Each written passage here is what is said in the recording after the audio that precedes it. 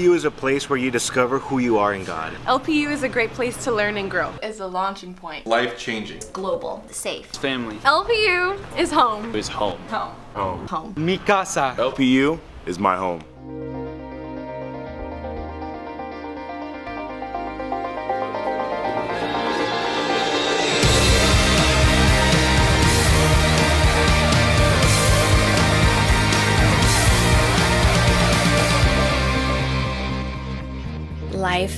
Has a special place in the kingdom of God, a biblical university that is focused on the transformational development of students into leaders, prepared to serve God in the church, the workplace, and the world. And there is never going to be a time when that is not important. Life has been doing it since 1923, and I don't see that ever ending.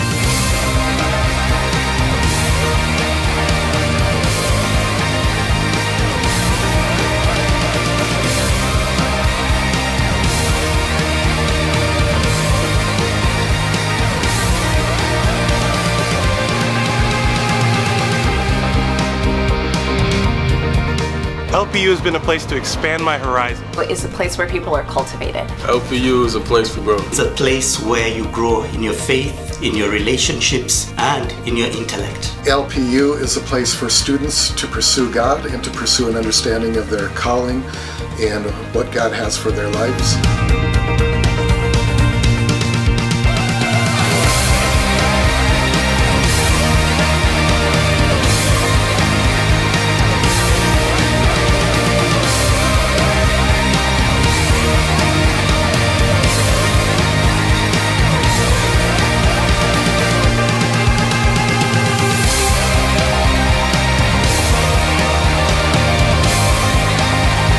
LPU es un lugar donde están las puertas abiertas para todos aquellos que quieren una educación formal y prepararse para un futuro mejor.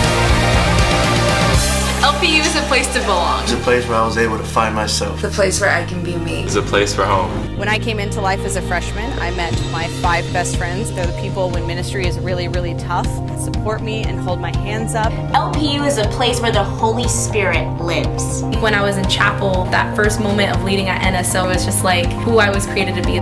LPU is a place for warriors.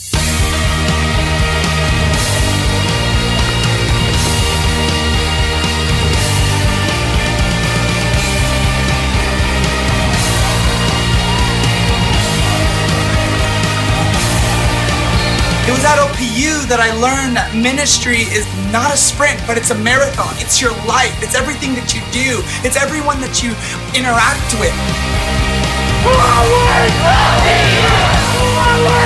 I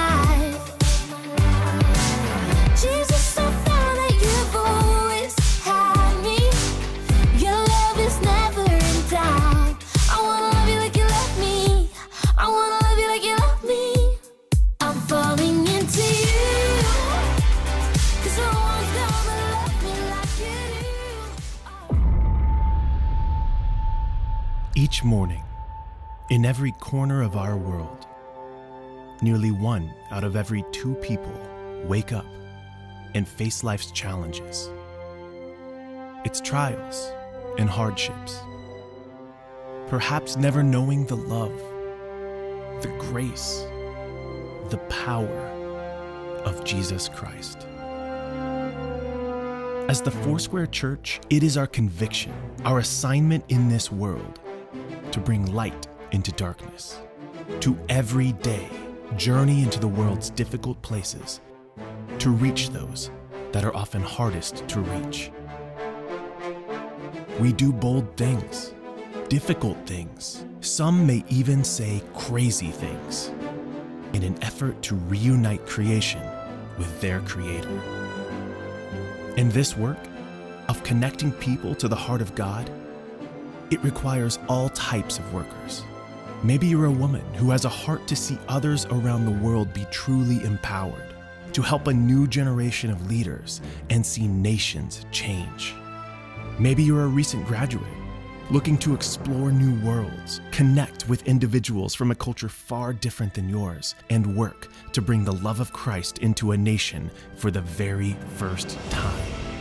Or an experienced married couple coming into a new season of life, looking to mentor and care for those on the field, sharing important years with those who desperately need to see the light.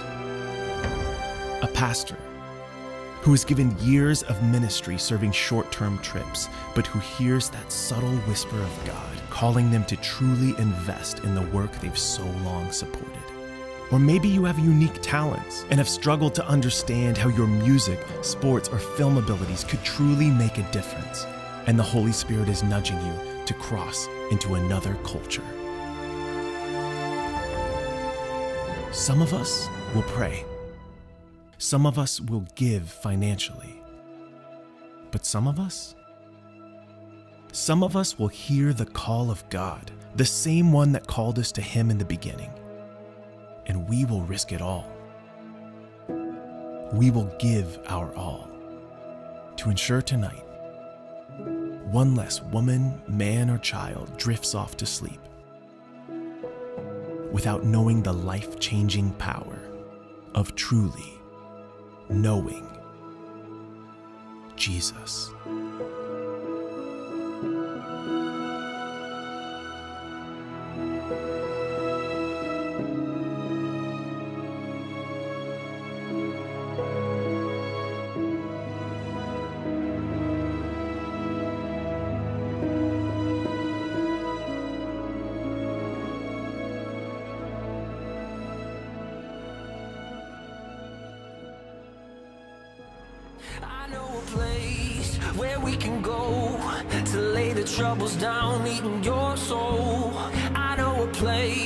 Where mercy flows. Take the stains, make it whiter than snow. Like a tide, it is rising up deep inside a current that moves and makes it come alive. Living water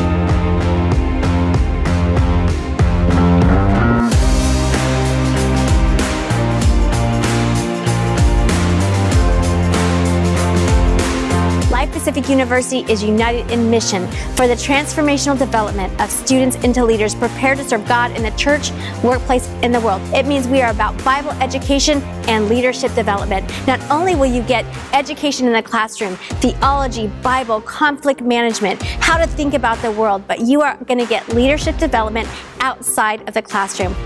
LPUVA is an amazing opportunity for our students to grow and be developed both in their academics and in their character development, to really begin to dig in and reach towards what God has for them in their future. Also, something I really am excited about is a new residency program. The 2 plus 2 model is unique because you will get your AA degree and you will finish the next two years online as you are placed in a ministry context. Students are actually placed in churches where they can work with ministers and work with leaders and work with congregations. Getting practical knowledge, learning how to do the work of the ministry as they serve alongside of a pastor and his or her staff. At the end of that two years, they'll not only graduate with their bachelor's degree, but our hope is that the leader will recommend them for Foursquare ordination. We are so excited about the potential and believe students will find an excellent education, hands-on leadership training with our best practitioners at an affordable price. At Life Pacific University in San Dimas and in Christiansburg, we are committed to you developing as a whole person so that you can achieve the dreams, the passion, and the goals that God has put in your heart. I am so excited to partner with you. Really, this is going to be great.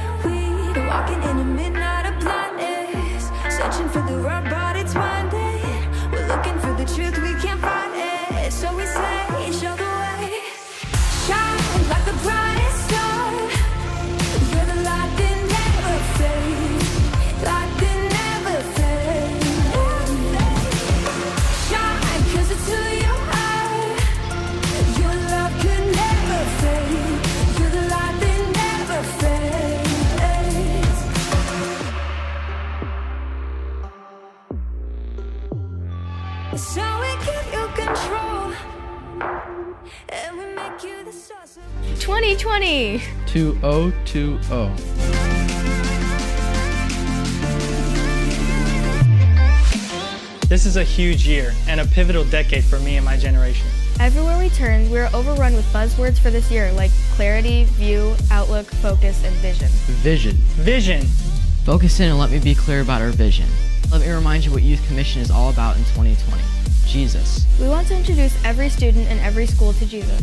We are the next generation, serving as frontline missionaries in our local schools. We are also the now generation. We believe that God can use us to start a revival across the nation and around the world. We are a campus ministry for middle and high school students that's focused on one thing Jesus. This is my club. This is my club. This is my club. This is where we have fun and live out the gospel. This is where I have a platform to be a leader, to lead as Jesus led and to love as Jesus loved. In 2019, students across the Southeast were emboldened to share their faith over 2,500 times.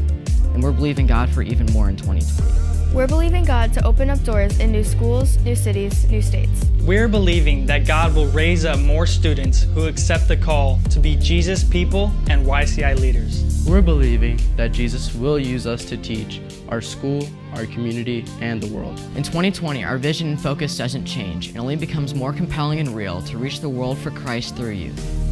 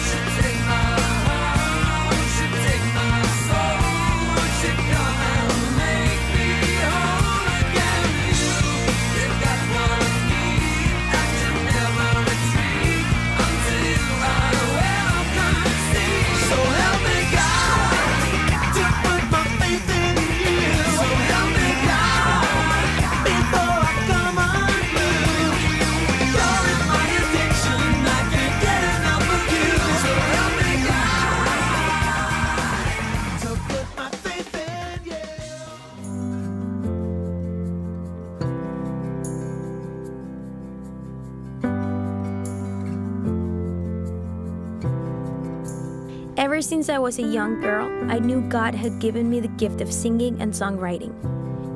In my pursuit of God's purpose, my gift became my passion, and my passion, my calling.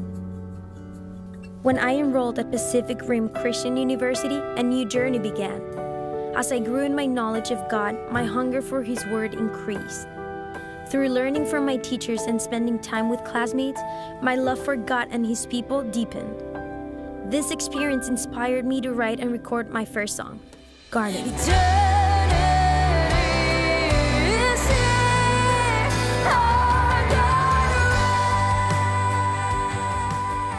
Pack Rim was the place where I had the opportunity to lead worship for the first time. I could feel God's breath in every song. I started to see my dream blossom. Today, I'm walking in one of God's greatest promises for my life. I am a worship leader.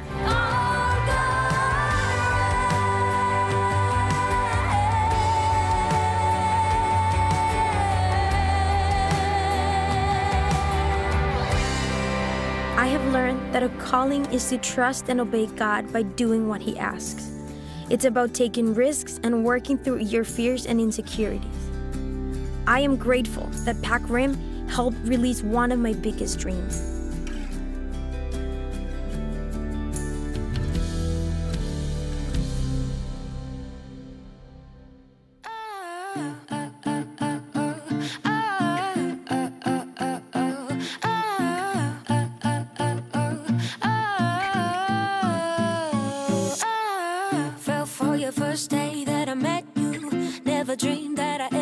Forget you. But black and white make a mess when it turned to gray.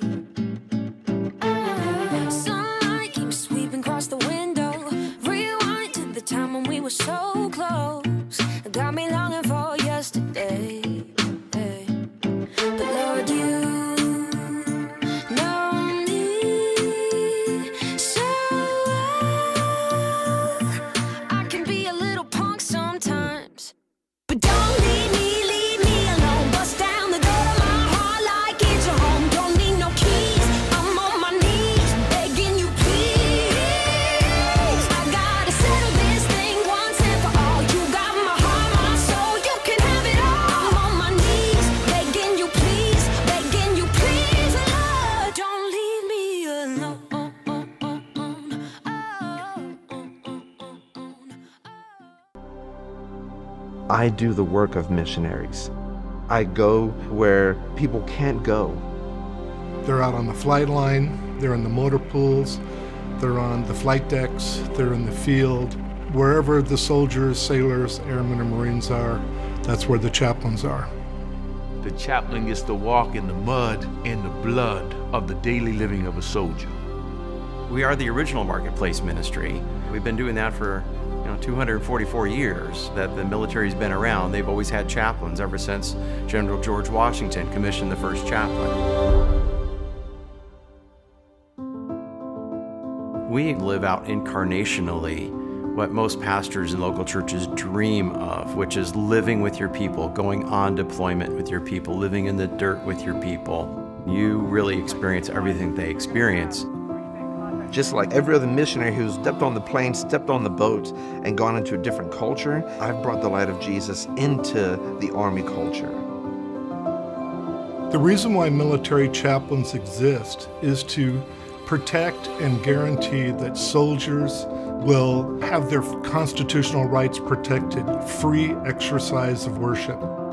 You've got people who've never darkened the door of a church at all, or people who believe something entirely different. If I'm the only chaplain and I'm on a ship, I've got to make sure that that Muslim isn't being persecuted.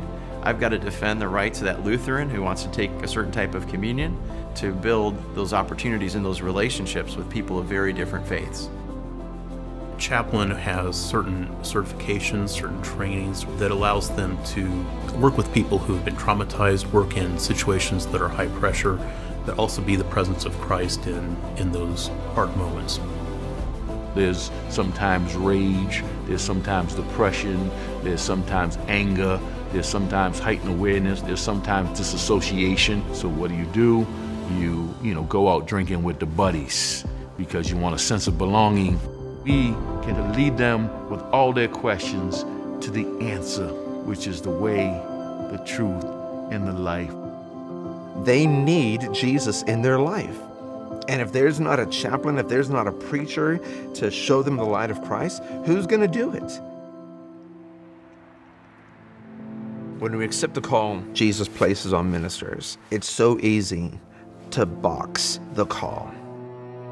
I know what the Lord has taught me is he does not like boxes.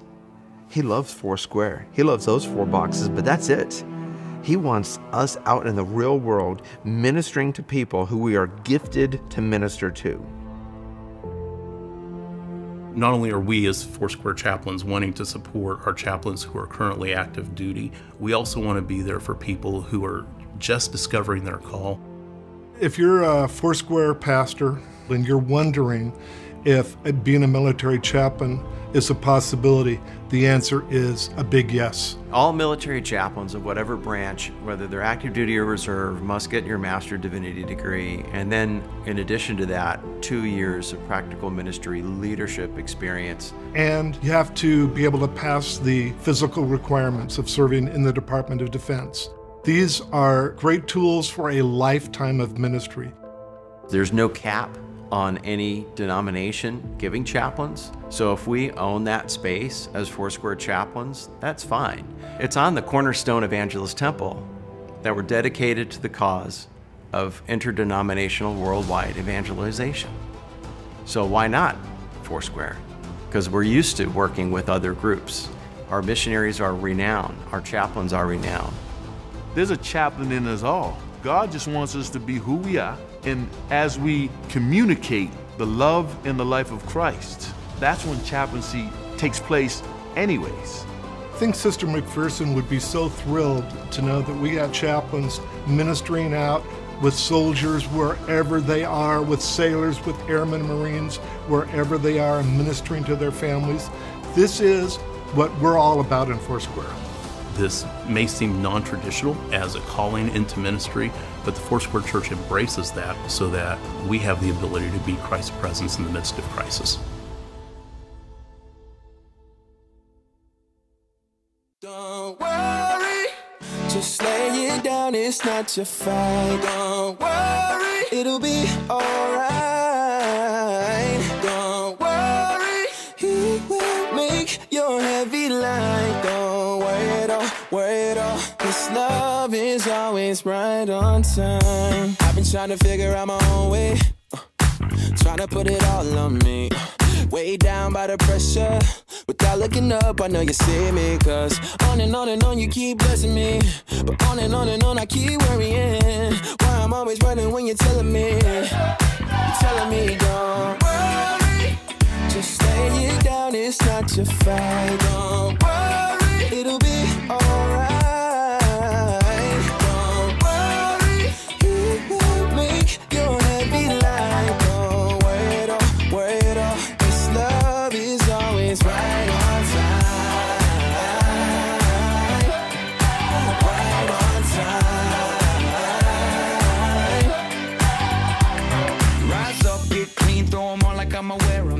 Got the shoulders for the burdens I'm bearing. Broke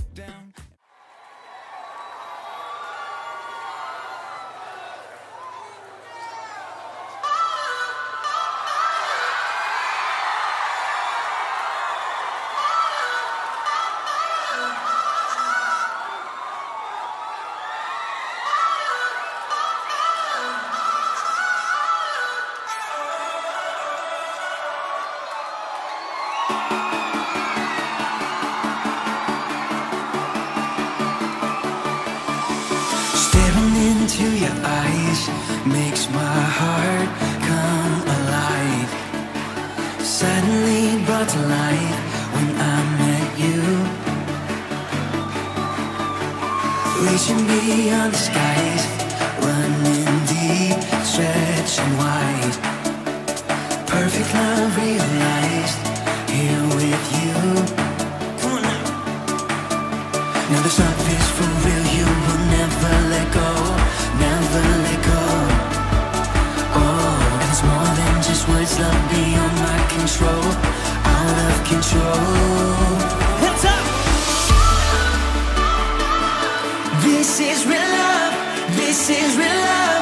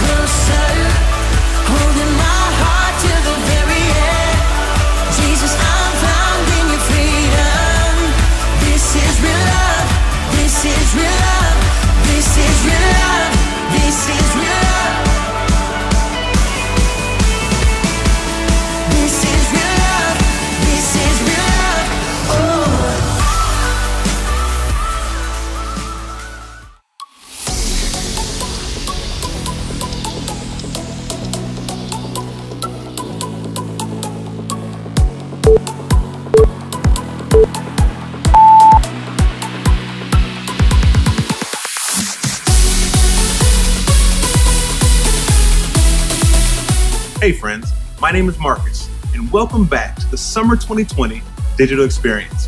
What a time we've had together during our sessions, our breakouts, and our national games with Life Pacific University. We hope that the last few days have been encouraging to you and that you've had just as much of a blast as we have. Well, our time together isn't over, so let's gear up and get ready to experience Jesus again tonight. Wherever you are today, whether in your home or at your church, let's prepare our hearts as we receive from Him. Lord, we ask that tonight you would speak to us exactly what we need to hear. In Jesus' name, amen. Welcome, everybody, to your summer digital experience. Would you get on your feet as we praise the Lord? Are you guys ready? Let's go!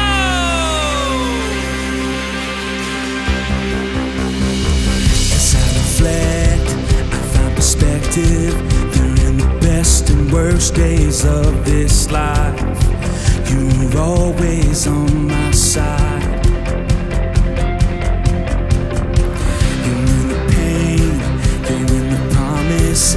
And on the days the furnace finds my faith, you're the fourth within the flames. I need to know what the future says. Cause if my past could talk, it would tell me this. My God is finished. If he did it be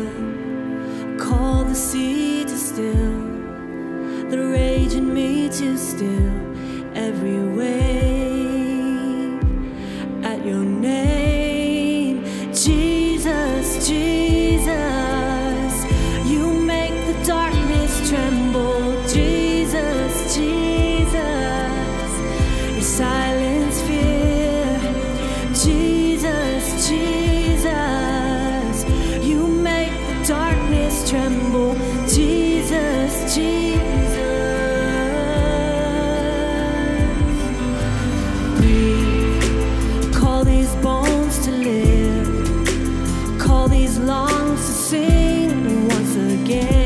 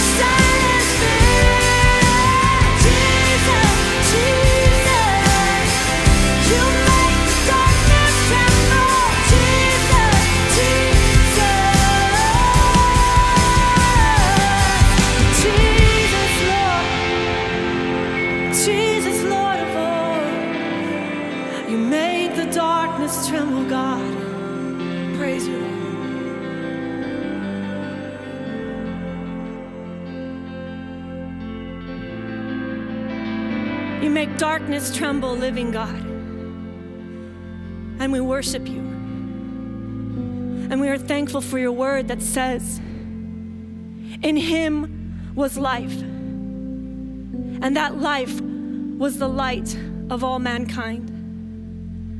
The light shines in the darkness, and the darkness has not overcome it. Darkness cannot overcome you, Jesus.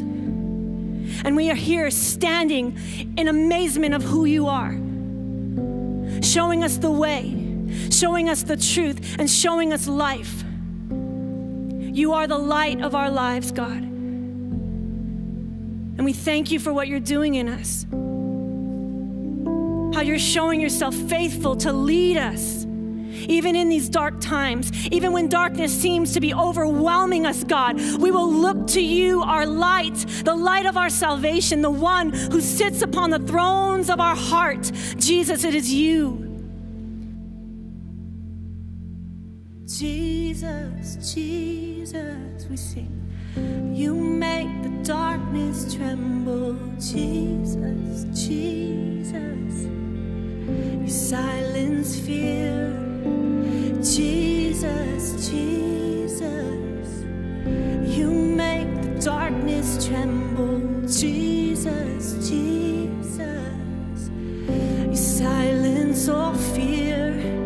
Jesus, Jesus. Jesus, You make the darkness tremble. Jesus, Jesus. You silence all fear. Yes, you do, God. You make the darkness tremble. Jesus. You silence fear, God. We worship you,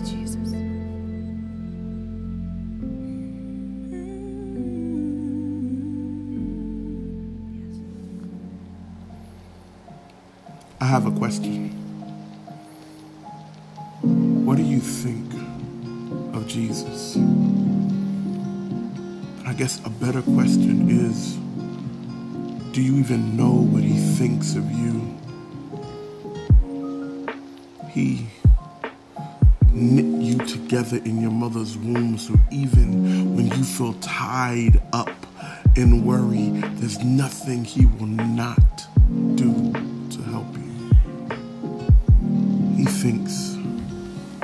you are worthy, worthy enough to be crowned his glory in creation. After he made everything else, he saved the best thing for last you. Even even if your family does not look like their family or, their family, he invites you into his family. Jesus thinks your breath smells great. Well, that's because he gave it to you in the first place. Tell me, what would you think if God signed up to be Savior because he thought you were worth it? He wanted to know his plan, even though he was all powerful. God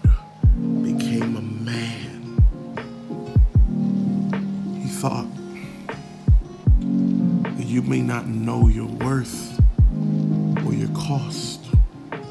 So to heal your soul, he died on a cross. He thought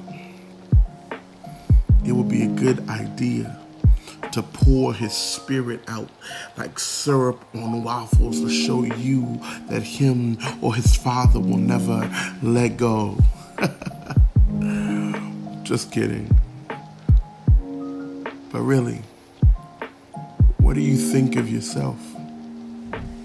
Well, Jesus says you are worth dying for, bleeding for, living for, resurrecting for, praying for, searching for, fighting for.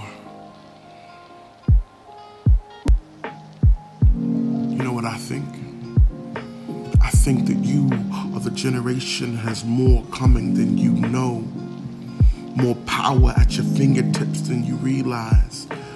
But I guess it all comes down to that first question. What do you think of Jesus? Wow, what an incredible spoken word from our friend Alexander James. And what amazing worship from C4 once again. We want to take a minute to say thank you to C4 for leading us in worship during our digital experience. What a joy it has been to have you with us. As we continue with our digital experience, make yourself comfortable. Get ready to engage. Grab a Bible and something to take notes with as we hear from our friends Brandon Ahu and Callie Davis.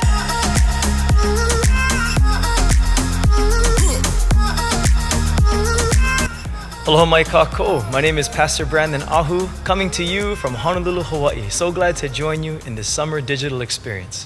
One of my favorite things to do out here in Hawaii is going surfing. Now, you might think that surfing is getting into the ocean and getting wet, and it is, but there's also a whole nother part of it in getting ready to even be there. Being in the water is just the end goal. There's a certain anticipation, like a can't wait kind of feeling, especially when you know that the waves are gonna be good. Like when my friend calls me up and says, Hey, it's really good, the waves are coming in today. So I check all the webcams and I look, and it is peeling and glassy, and there's not many people in the lineup, and it is so good. And just trust me, it's really good in those kind of conditions. When I know that it's gonna be good, I just can't wait. And all day, I'm looking forward to being out in the water surfing. It's not if it'll be good, it's I know that it's gonna be good. There's a big difference. If is like a maybe. Like maybe it'll be fun today. Maybe I'll get what I asked for for Christmas, or maybe I'll win the game. Maybe I pass that test. Maybes are just, ugh. But there's some days in surfing where there are no maybes. There are some days when you just know it's gonna be good. It's like when you come home and you just smell that dish, that aroma, because your mom or your grandpa or someone is cooking your favorite dish. You just know that when you eat it, it's gonna be good. When your friends are in a squad, you're loading into a lobby and you can't wait to get in there because you know with everybody there, it's just gonna be good. It's like when you order something online and you're waiting for it to come. You check the tracking number and it's almost to your house. You just can't wait for it to get there because you know it's gonna be good. See, when you know that it's gonna be good, it makes the journey getting there all the better. The waiting, the preparing, even the setbacks are kind of easier to get through because you know what's gonna be good at the end of it all. It's a lot like that with surfing. When I know that the waves are gonna be good, even though there's ups and downs before we get to the water, it helps me to focus on where I'm going to. See, I could be waiting the whole day to finally get to the beach. It takes a while to strap the boards on the cars. Finally jumping into the car, getting ready for the drive. Even when we hit traffic and the roads are blocked because there's red lights everywhere, construction, I just remember it's gonna be good when we get there. One of my favorite surf spots, you have to drive up a hill to get to that area, and as the wind's in your face, you can smell the salt air coming through. Finally, we get to the parking lot, and you can peek through the trees and see the waves breaking and the white water coming in. Looking down, seeing everybody enjoying the surf, you think you're there, but you're not there yet. In fact, you have to unload the boards and then get ready to walk down the dirt trail. Walking down the trail, I've slipped and fallen on that trail a bunch. But even when you slip and fall, get back up because you know where you're going and you know it's gonna be good. Finally, when you feel the sand crunch between your toes and you see the water lapping on the side of the shore, it reminds you it made all the tough parts worth it because it's as good as you knew that it was gonna be. When you know that it's gonna be good, it makes the journey of getting there, the preparing, the waiting, the setbacks, the highs and the lows, all the easier to bear with because you know it's gonna be good. We know that Jesus is our soon coming King. And we know that because he said he's coming back and returning, that he is. And he's gonna make all the wrong things in this world right. And we know it's gonna be good. And that's called having faith. When you look at your life and you feel like things are unfair, remember that it's still going to be good. When your parents are fighting and it feels like your family's splitting up, when it feels like you should be in any other place but where you live, when you don't get into school that you wanted to, or your so-called friends are abandoning you or turning their back on you, you can look at this world with all of its injustice and brokenness and anger and hatred and violence and be discouraged about it. Or you can remember that you know Jesus said he's coming back as our king, so it's going to be good. Hebrews 10:23 reminds us to hold on to this faith that we profess because he who promised is faithful. So whatever you're going through, whatever challenges you're facing, hold on. Keep pushing forward because our king is coming and it's going to be good.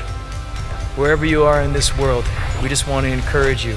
Keep your eyes fixed on the one who is to come, and that's Jesus, our soon coming king. God bless you and aloha.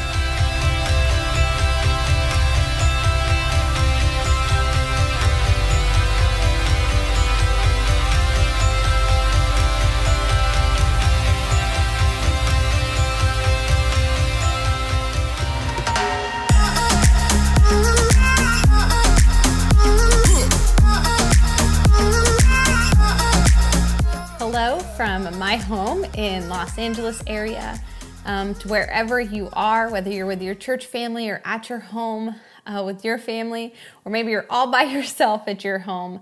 Um, I'm so glad you're here. I'm thankful to be able to be with you today. Um, we've pastored in a small town in Oklahoma. We've also pastored throughout the Los Angeles area. And so I love this because it's like a wedding, right? Where like all my people are together. And so um, I'm just so honored to be a part of this, a part of this unity in the body of Christ across our nation. I think what's happening is powerful. And I think God has something for you that's specific and unique to you. And I'm so excited to be play a small part in what God is up to um, in this week, in this event. And so um, I, like you, have been quarantined. I am with my family. I've got two sons, a seven month old and a five year old, who is going crazier by the day in this house. Um, I'm here with my husband, our two dogs, and we are just living the quarantine life. Um, and I know lately this world has just been so heavy. And tonight we're going to be talking about Jesus, our healer, the great physician. Um, and we've got a lot going on, right? We have COVID that has completely shifted our entire life, um, maybe more for some of us than others of us. And then we throw on top of that the heightened anxiety and depression that many people are feeling with isolation, and then the unrest that's happening in our world. Maybe our families are struggling with unemployment, or maybe we've even lost someone in the grief during a season uh, so unfamiliar and weird as this season is, or um, and then we add on top of it the racial injustice that we're seeing across our world that we fight and we pray against. Um, and all of this together is just heavy. It's heavy, it's hard, the burden um, can be great sometimes. And the other day, I watched a video, and you know when you know you just shouldn't watch another video, but I watched one more video. And I just, it was a video that was hard to watch, that was um, very unjust and very wrong. And as I watched it, I just broke. It was like the last straw. And as I was weeping in my room by myself, um, all I could say over and over is Jesus, only you. Only you can heal disease and sickness in our bodies. Only you can heal the sin of racism in our heart. God, only you can heal division and disunity. God, only you can heal the mind and the brain of anxiety and depression. God, only you. And as we talk about Jesus, our healer, tonight, I was reminded of a story that we find in Genesis at the beginning of the Bible, a story of Hagar. And Hagar was the servant to now we, who we know as Abraham and Sarah. And Abraham and Sarah had become so impatient with God, so angry that they could not birth a child in their timing and in their way, that Abraham ended up getting Hagar pregnant so that she could bear their child. Sarah then became so um, mean and so abusive, so harsh, as scripture says, to Hagar that Hagar ends up running for her life and running away. And Hagar found herself in the wilderness beside a stream, alone. I can only imagine discouraged, weak, weary, abused, um, lost hope and here she is in the middle of the wilderness by a stream, and an angel of the Lord shows up to her. And the angel says to her that you're going to have a son and you're going to name him Ishmael. Now, the name Ishmael means God hears because God heard Hagar in her distress. The angel then goes on to say, You also have to go back. You need to return to Abraham and Sarah. And the angel says that your son Ishmael is going to be a handful, pretty much. So basically, not all good news. But when Hagar goes to sum up this experience, this is what it says in Genesis chapter 16, verse 13. It says, She gave this name to the Lord who spoke to her. You are the God who sees me, for she said, I have now seen the one who sees me. And the name she uses here for God is a Hebrew name called El Roi, the God who sees me. El Roi, the God who sees me. I mean, can you imagine abuse, the injustice she had faced and was facing? Seemingly winning against her, pregnant, her body weak and weary in the wilderness, running, so much wrong done to her, so much hurt, fear, and loneliness. And there, alone by a stream in the wilderness, the Lord shows up to her and only her. She ends up returning to Abraham and Sarah going back to a situation. And I love it because even though the situation was not healed, even though the situation was still chaos, the situation was still difficult, she went back because something so deep within her had been healed that she could go back, had been healed because she had seen the one who sees her. And you may be thinking, I thought we were talking about healing tonight, but I believe that healing often begins when we are seen. That healing comes when we see one another. Healing comes when we are seen so that we can see another. I mean, we can't treat cancer, right, until it's been diagnosed. We can't treat ailments within our body until they are seen, they are exposed, they are brought to light. And here we have Hagar, seen by El Roi.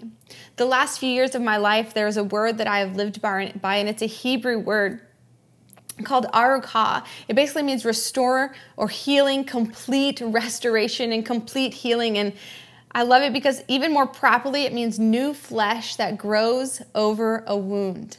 The new life, the new fresh, when our wounds become wisdom, when we have a new life that's birthed over a painful area. Hagar went back to a situation that was not healed because she had been healed. About six years ago, I went through an extremely difficult pregnancy with my first son. Um, we had in home nurses and IVs, and I was sick the entire time. Not long after having my son, we moved across the country to senior pastor for the first time in a new area, new culture, new context where we didn't know anyone at the time. And I would end up in and out of the ER with a lot of medical issues. If there was a test that could be done, it was done to me from heart monitors to MRIs to, I mean, everything that could be done.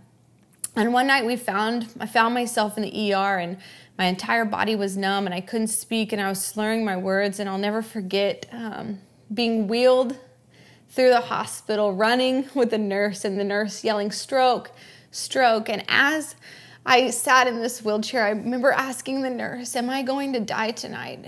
And she looked at me and she said, You're here now.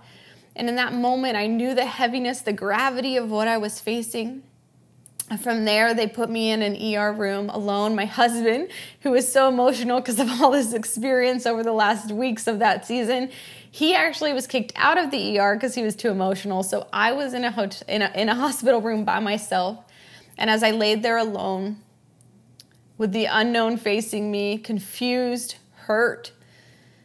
A nurse came into my room and she leaned over my bed and looked in my eyes and she said, You are not facing a physical battle, but a spiritual one.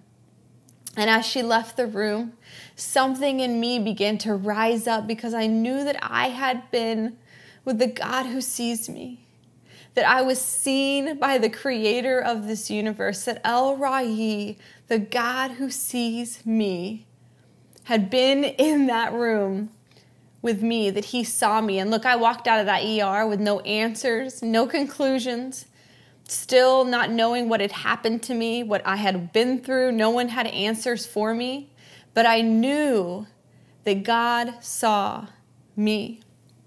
And it wasn't long after that experience that I began having extreme panic attacks, which is something that's new for me. And we now know through counseling and other things that they think it stemmed from my brain being extremely depleted from my first pregnancy. But in the midst of panic attacks, which are very real, and are very physical and are very scary if you've experienced them. Throughout this season of panic attacks, I ended up finding myself in a waiting room for a psych evaluation and they had taken my keys and they had taken my phone. And look, me and my husband were still senior pastoring at this time. And there we sat holding hands, waiting for my psych evaluation. And I was so broken, so lonely, so discouraged, so beat down, so confused, embarrassed. And I'll never forget thinking, where is the church? They should be here. But you know, I am the church and I was there, so the church was there. But I remember looking around at the people that were beside me. I still remember some of their faces because I really saw them. Like, really saw them because I was them, because I understood their pain that they were feeling. I understood the lowness that they felt. I understood the discouragement, the confusion that mental health brings. I was sitting in that moment, in that place of pain, alongside them. And I really saw them. But I wanted you to know today that Jesus, in the same way, he sits in our pain with us. Jesus entered into the human condition, became flesh for us, and then he sacrificed his life, experienced the pain of death on a cross because he sat in our pain with us. God is not on the outside of that waiting room looking in. God is in the midst of the pain with us. And He can see us, really see us, because He's been there, He's experienced it. El Roi, the God who sees us. Not long after this, I felt the Lord beginning to stir in my heart that He was wanting me to have another child. Now, look, my first pregnancy was bad and catapulted a lot of these, like, not good health situations in my life. So I was scared, I was concerned. There was still a lot of going on in my body and my mind. I didn't just didn't know if it was time. Like I didn't need another thing on top of everything that we were dealing with. And so I was afraid. So me and my friend, we began to fast and we began to pray. And as we did that, I knew the Lord was asking me to trust Him.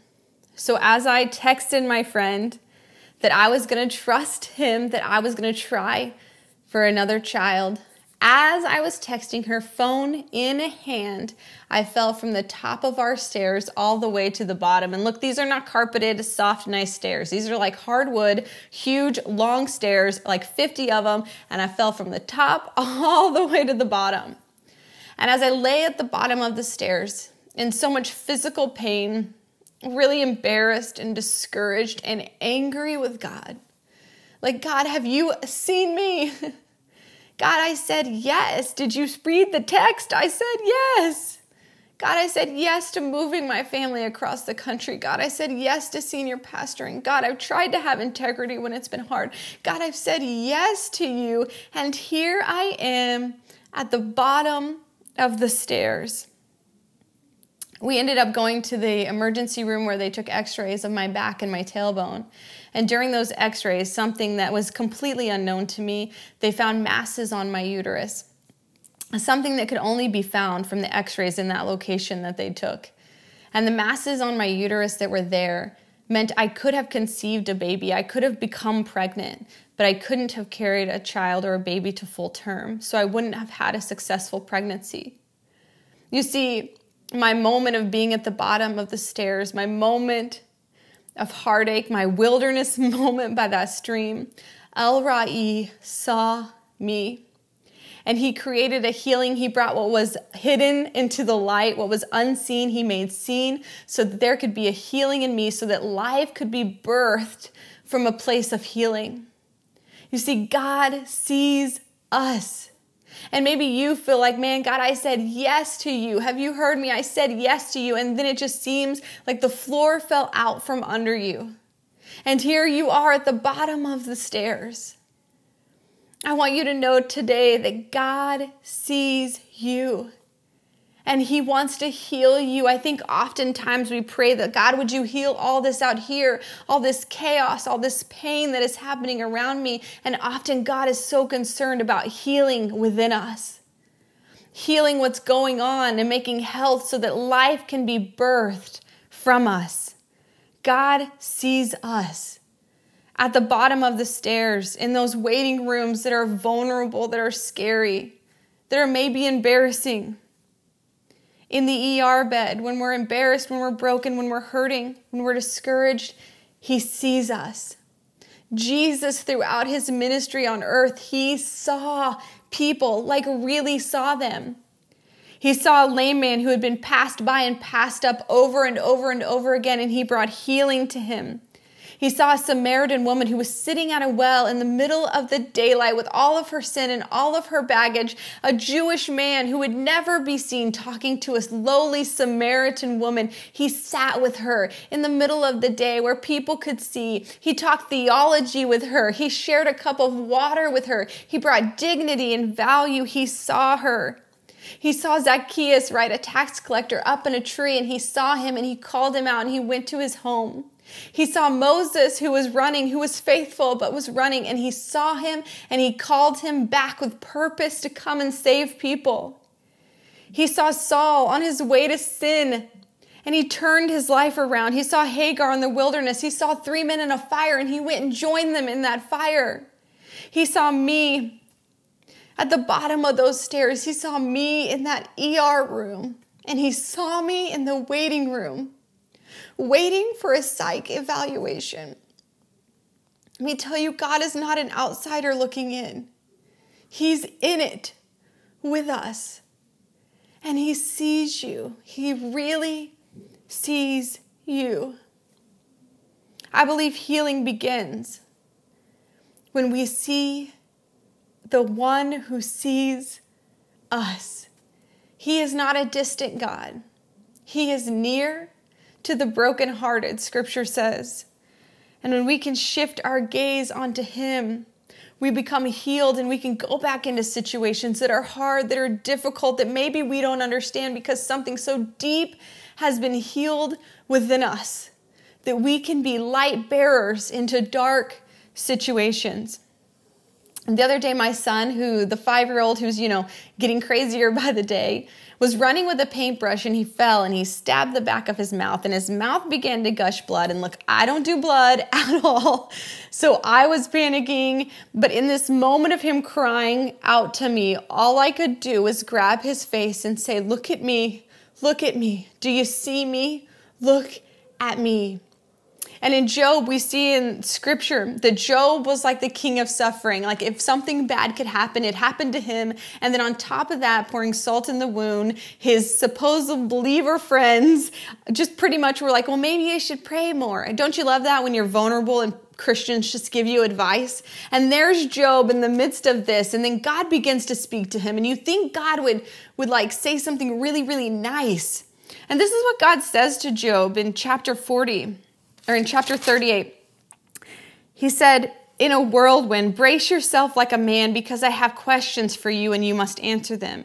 Where were you when I laid the foundations of the earth? Tell me if you know. Who determined its dimensions and stretched out the surveying line? Who supports its foundations? Who laid its cornerstone as the morning stars sang together and the angels shouted for joy? Who kept the sea behind its boundaries and clothed the clouds? Who wrapped in thick darkness? And he goes on to say, Do you know where the storehouses of snow are hidden or where the boundaries for the ocean stops? And he goes on and on and on. And I think we can read this and be like, whoa, God. But I feel like Job was hurting and broken. And God took him by the face in the midst of his pain and said, Job, I see you, but do you see me? Look at me. Man, if we could be a people who don't keep God in the waiting room, who we bring Him into that vulnerable, weak place, and we allow Him to sit with us in it. Allow Him to see us, but then we in turn shift our gaze onto Him. We put our wounds into His wounds. Scripture says, by His wounds we are healed. And if we can see Him for the greatness that He is, for the kind God that He is, the gracious God that He is, Jesus, our Savior, if we can turn our gaze onto Him and His greatness, I believe we can experience healing within ourselves. Healing that makes us powerful when we encounter El Roi, the God who sees us. Then we can begin to experience life birthed out of a place of health. We can begin to see new flesh on top of the wounded areas. We can see wisdom where there was once wounding. But we must allow ourselves to be seen. Look, maybe you're hurting today. Maybe you feel distant from God. Maybe because of sin. Maybe you feel like God has abandoned you or you are discouraged and you are confused. I want to encourage you today to just start with being seen by God, by turning your gaze onto who God is and allowing Him and allowing others to sit with you in your pain and turning your gaze onto a God that loves you so much a God that yielded himself to death on a cross. He wasn't dragged to the cross kicking and screaming. He yielded to suffering and pain so that you could have life and have life abundantly. And he resurrected from the grave. And I love it because when he resurrected, what did he do? He went to his disciples and said, Do you see me? And they saw his wounds where he had died for them. So today, would we embrace where we are, invite God into it, but turn our gaze from our wounds to His because by His wounds you are healed. And you are seen today by El Roi, the God who sees you. And He loves you and He values you. What an amazing word from Brandon and Callie. As Callie just mentioned, our God is a God who sees, and today He sees you right where you are. There may be some of you on this stream that felt God speak right to you in your inner place. You may have felt seen, and now you want to experience God's healing. We want to give you a chance to respond in a couple of different ways. First, if you're next to someone, a friend, a pastor, a parent, would you ask them to pray for you where you need healing? Second, simply take a moment and pray yourself. God is not far from you, and He wants to meet you right where you are today and bring you healing. Don't be afraid to speak to Him. Lastly, we want to hear from you. Would you take the next five minutes to respond by clicking the link in the chat or on the screen and let us know what you need healing of, or even if God brought you healing tonight during our time together? We're going to put five minutes on the screen to give you some space to respond, and then we'll be right back.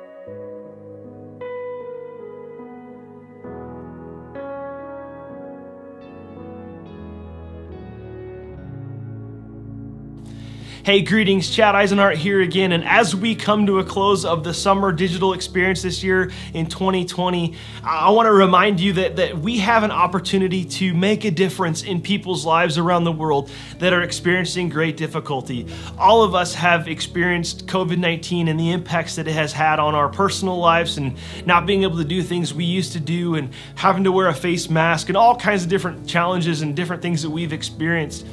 But you know what? There is so much to be grateful for, and we are so blessed here in, in, the, in the US. And so we have the opportunity to partner with so many around the world that don't have food on their tables and aren't able to provide for their families. And so we have an opportunity to come together to give, to make a difference in the lives of so many people around the world. So I want to encourage you right now to give. Every bit counts if you're able to give $5, you're able to give $10, you're able to give $20, every bit is going to make an impact in helping support families and children and young people just like you that aren't able to put food on their table. So I want to encourage you, talk to your friends, your family, your loved ones, your grandma, and, and, and, and share with them the need of people around the world and help them to understand that we are partnering together to make a difference in people's lives around the world. I'm so thankful for all of you that have come together and prayed and have given to help support families and children and young people around the world that are suffering because of COVID 19. Together, we are making a difference. You made a difference this week in the lives of people around the world because you gave, because you prayed,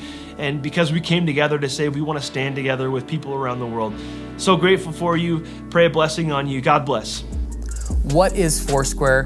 What do we believe? How do you learn more? Well, welcome to the squad. Squad is literally teaching us what the four things of Foursquare are, which is this Jesus Christ is our Savior, Jesus Christ is the baptizer with the Holy Spirit, Jesus Christ is our healer, and Jesus Christ is the soon and coming King. You can go right now to foursquad.org and you can learn all about what Squad is. You can get the free book, the free video series, and you can learn to put your faith into action. I am so glad that you are a part of our squad everyone. What a week this has been. My name is Angie Richey. I'm the president of Life Pacific University, where I am right now. And to my left, I see four stained glass windows that say Savior, Healer, Baptizer, King. That is what we have focused on all week. We've focused on Jesus the same yesterday, today, and forever. And as we conclude our time together, I want you to consider that this isn't the end, but this is actually the beginning. In fact, your next starts now. So I want to share a little equation with you. And you probably think I don't want to take a math class. I don't either. But get out your pen and paper or a laptop because you're going to want to write this down because it's really going to change your life. It will shape the way you think about everything that happens to you. Ready? Here we go. E plus R equals O. E plus R equals O. Event plus response equals outcome. See, you and I can always control the events in our life, but we can't control what? The R, our response. And that variable affects the outcome of all areas of our life. And as we think about this week, our response is absolutely mission critical for how we are going to go forward. This moment in time in our culture is no surprise to God. The tensions that we're facing, the challenges of being home, these moments in our lives are incredibly important and they're catalytic to your future. Good, bad, everything in between. These moments change the course of our lives. God wants to use you now. Now is your time. Because this is what I know for sure. As a therapist, we have real issues in society. You know what your friends are going through, you know what you have struggled with. Mental illness is on the rise, with anxiety being the number one disorder around the world. Social media addiction and porn addiction is destroying our relationships. It's bringing shame and guilt. And you know what it's doing? It's straight up keeping you from your purpose. Suicide among the younger generation is the highest in decades. So get this, are you ready? More teenagers and young adults die from suicide than from cancer, heart disease, birth defects, stroke, pneumonia, the flu, chronic lung disease combined. I know, you're losing your friends. This is serious. The issues are real, and I am so sorry for what you have to deal with. But it is your time, it is your voice, your own healing that is needed in the world today. And I just want to ask you what is your response going to be to mental health? What is your response going to be to suicide? What is your response going to be to addiction and struggle and pain that we see everywhere? E plus R equals O. The outcome is determined by our response. In every generation, God has been faithful to bring revival. And you know what's amazing? It's always come through the young. It comes with a vibrant, hope filled, energetic group of young people that are willing to give everything for God. And through prayer, through worship, God will do amazing things. You know what I know for sure is you are the largest generation on the planet. You are Generation Z. You are influential. You are entrepreneurial. You are relational. You are inclusive. You want everyone to win, and you have a heart that wants to work hard and see change. Together, you absolutely can change the world. 1 Timothy 4:12 says this, "Do not let anyone look down on you because you are young, but be an example for believers in speech, in conduct, in love, in faith, in purity." You know, Jesus as savior, as healer, as baptizer and soon coming king is the answer. But you know what? Jesus empowers us to be the very thing that he was to the world. So he wants to equip you to do the work that he's calling you to. In fact, Ephesians tells us that we are his workmanship. In other words, we're his masterpiece, we're his poem. Can you imagine? You, you're his masterpiece.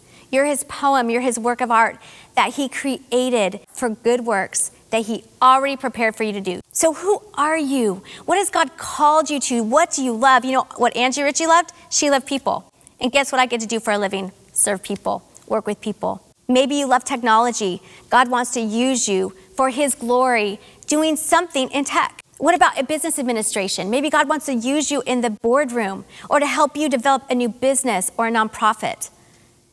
Maybe you're supposed to be a counselor or a social worker, a worship leader. God has put that in you. Don't mistake your desires for just, oh, things that you want to do that aren't important. In fact, they are the thing, they are the purpose that God has given you. You got to develop them and you got to acknowledge that God put that in you because the world absolutely needs you. He has set you apart, He has destined you for greatness, and you have a purpose greater than you could ever imagine. So, I'm going to give you four things to consider as you think about your response because there is no point to virtual camp if you don't change and take something with you. So, number one, start seeing now. Get a picture of who you are and what you're supposed to be. Get a vision of your life. Begin to explore your passions. Don't just sit on social all day. That is great when you're sick, but not every day. Get to work. You got stuff to do. You got lives to change. You got people to heal. Get to work, but get a vision. See it now. Begin to incorporate who you want to be. Do you love it? Are you feeling this? When I begin realizing who I am in Christ, my world opened up. Because guess what? The world wants to tell you who you are, right? People on the playground want to tell you who you are. People online want to tell you who you are. Cyber bullies want to tell you who you are. Moms and dads want to tell you who you are. Who does God say you are? Who does God say you are? Number two, are you writing this down? Start learning now. Get in the Word, get your worship on, get the scriptures in you, study His Word, connect with others that help you rise higher, that help you emotionally, physically, spiritually grow. The truth is that you are the average of the five people you spend the most time with. Take that to heart. Who are your friends? It says in 1 Corinthians, bad company corrupts good morals. Walk with the wise and become wise, for companions of fools suffers harm. Watch what you think and what you say. Learn a new way. You're like, Angie, I can't. I'm too anxiety filled. I'm too depressed. You know what? You know the antidote for that? It's gratitude. Start being thankful. Start worshiping, focusing on the positive. Get moving and exercise, but start learning now. Anything you want to do, anything you want to be, start learning it now. Number three, start living now. That means start doing the things that you want to do. Live your life. Get out from behind the screen. Get out away from the drama of your friends. Listen, I work with a lot of teens.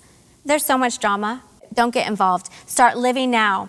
Shut, shut off socials for a while. Take a break. Live differently. Raise your standards. Some of you, your standards are way too low. Start living into the worthiness of God, into who He says you are, that you are His beloved, you are His child, you are, again, made for a purpose. In Proverbs, it says this above all else, guard your heart, for everything you do flows from it. That means guard your heart, guard your eyes, guard what you see. If you want this to be a catalytic moment and for camp to matter, you're going to have to edit your inflow. It's time to take control of your life. Above all else, guard your heart, for everything you do flows from it. Keep your mouth free from perversity. Clean it up, people. Clean up your mouth. Keep corrupt talk far from your lips. Let your eyes look straight ahead. Fix your gaze directly before you. Some of you are so caught up in the past. You will not grow if you keep looking back. Heal your past. Work with a therapist or a pastor to heal your past, but stop looking back. Let go of the past and look ahead. Fix your eyes directly before you. Be careful. Be careful about your path forward and do not turn to the right or the left, but keep your foot from evil. This is no joke. You have to be all in for Jesus. And let me tell you, it is a life so worth living. It is a life of joy and peace. Yeah, it's hard. It says, don't be surprised if there'll be trouble. For sure. But you know what? God gives you everything you need to get through it. And lastly, are you ready? Okay. Number four, write this down. Start teaching now. But Angie, I don't know enough. Yeah, that, that's what Timothy said. Do not let anyone look down on you because, of you because you are young. Start teaching now. Start living now. This is how change, change lasts. It's not just hearing a message, it's not just participating in a breakout, it is doing it and then teaching it to someone else. So, whatever you have learned today, I want you to go tell someone within the next 12 hours. Don't hoard what God has done, teach it, pay it forward. It's not just hearing, it's doing, and it's not just doing, it's teaching. So start teaching now. Start proclaiming the things that God has done. Start talking about Dan Fernandez's message. Start telling people about Callie Davis's message. Start talking about Joel's message. Share it with everybody, but you speak it because your voice matters. Then the 11 disciples went to Galilee to the mountains where Jesus had told them to go. And when they saw him, they worshiped him, but some doubted. It's just human nature. We doubt sometimes, don't we? But then Jesus came to them and said, All authority in heaven and on earth has been given to me. Therefore, go. Go and make disciples of all nations, baptizing them in the name of the Father, of the Son, and the Holy Spirit, and teaching them to obey everything I have commanded you. And surely I am with you always to the end of the age. He said, Go, go, and make disciples of all nations, baptizing them. That means you. You, me, go. Go and make disciples. Baptizing them in the name of the Father, the Son, and the Holy Spirit. It doesn't matter how old you are, you have a purpose and a calling. And teaching them to obey everything I have commanded. So, everything that you've learned, go teach it. Go teach it. And you know what? You will not be alone. In fact, God is with you. He's with you right now. He's with you in your bedroom. He's with you on your phone. Wherever you are watching, God is absolutely with you and He's waiting. He's waiting for you to respond. He's saying, What are you going to do with the gifts that I've given you? You know what? And I will tell each person watching today, You are the gift. You are the gift. But you got to use your gift and you got to give your gift. You can't hoard your gift. You can't bury the gift. You have to give your gift because this world is hurting. But guess what? Jesus' hope is in you. And so I want to call you to a response today. Let's get to it. I want to see you preaching. I want to see you teaching. I want to see you planning mission trips. I want to see you starting businesses. Let's do it together. Your future starts now. We have no time to waste. And so I want to pray for you and I want to pray blessing over you because I know that right now God is calling you to something that I'm just a confirmation of what God has already been saying to you. And I'm so blessed to be a part of your life. So let me pray for you. And will you join me in agreement to see what God may do? Lord Jesus, we thank you for our Foursquare youth and all of our friends that have joined us.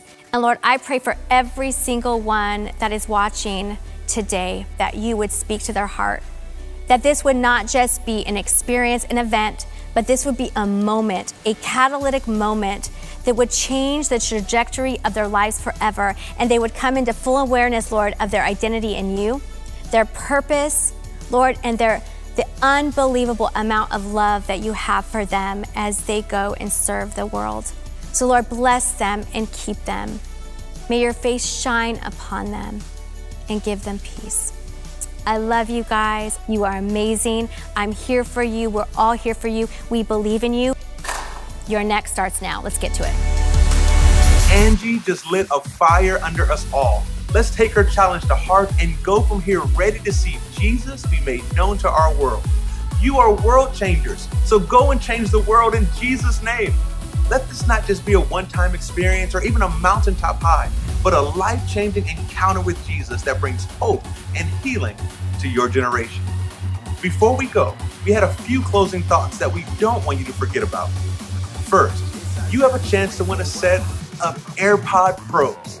We want to hear the story of what God has done in your life this weekend, and we want to help you take your next steps towards God's purpose for your life.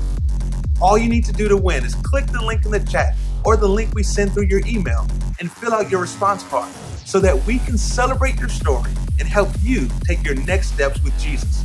In fact, on that response card, you can choose to learn more about Next, a resource designed specifically to help you discover your next steps in God's purpose for your life.